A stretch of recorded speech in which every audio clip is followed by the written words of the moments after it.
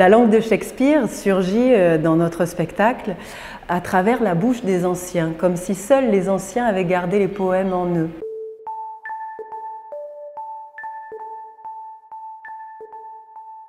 Le King Lear syndrome, c'est un syndrome qui atteint les personnes âgées, qui ont ressenti durant leur vie une sorte de sentiment d'impuissance et qui là, euh, arrivé à la fin de leur vie, eh bien, ils vont développer des sentiments de surpuissance, des euh, envies de démesure, un besoin de souveraineté énorme.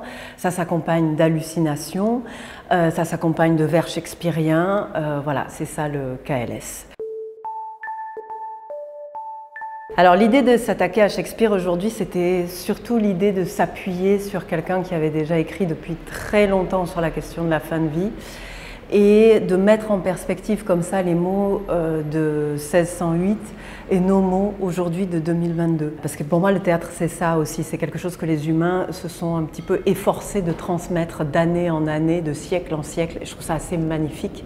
Là, aujourd'hui, en fait, on, attaque Shakespeare par le biais de euh, nos problématiques euh, actuelles liées à la filiation, à l'héritage, à la loyauté vis-à-vis -vis des parents, la durée de vie qui s'est allongée. Envisager ça par le prisme de Shakespeare, ça nous permet de mettre en royauté nos anciens aujourd'hui qui sont de moins en moins regardés, qui sont euh, toujours un petit peu dans une société où on prône vachement le jeunisme, la performance, etc., où le vieillissement est perçu comme quelque chose qui amoindrit. La langue de Shakespeare surgit euh, dans notre spectacle à travers la bouche des anciens, comme si seuls les anciens avaient gardé les poèmes en eux. Là où aujourd'hui on cherche davantage une langue que j'appelle un peu en plastique, une langue faite de ça va, ça va, où on va jamais trop creuser le tréfonds de l'âme. Or, les humains ont une âme. Et aujourd'hui, on n'a plus les mots pour euh, nommer ça. Et Shakespeare les a. Donc on, on a utilisé avec parcimonie Shakespeare quand il s'agissait de nommer des contours de l'âme qu'on n'arrive plus à nommer à force de se développer personnellement.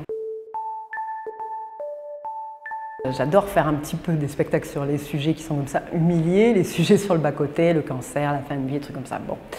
Euh, pourquoi? Parce qu'en fait, je crois que c'est là-dedans que je, je puise ma force de vie. Cette chose fondamentale que les hommes en fait sont faits pour mourir, mais personne s'habitue à mourir, pour moi, c'est la base qui crée tout mon théâtre. Et mon théâtre s'immisce là-dedans, dans le fait que on veut jamais mourir. Et donc, il y a une sorte de rébellion fondamentale des humains contre la fin.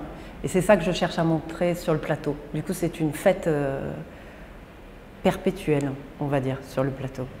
Et la fin de vie, pour moi, c'est toujours un, moment qui est presque un carnaval. Si on l'écoute très, très, très attentivement, si on fait vraiment du microscope dans ce qui se passe dans chaque personne autour du lit, par exemple. On est toujours assailli de millions de souvenirs, de plein de sensations. Il y a des moments complètement tragiques qui sont directement euh, bousculés par des moments extrêmement comiques. Avant de partir, la vie, elle fait grand bruit. Et c'est ça que je veux dire aux gens aussi, c'est qu'il y a des choses qu'on n'écoute pas assez. Et beaucoup de fictions ont tendance à nous montrer que la fin, bon, pof, c'est fini, on meurt, c'est triste. Ah, mais c'est vachement plus compliqué que ça. Il y a, il y a tout, toute la personne, tout l'individu qui se remet en ébullition avant de dire adieu.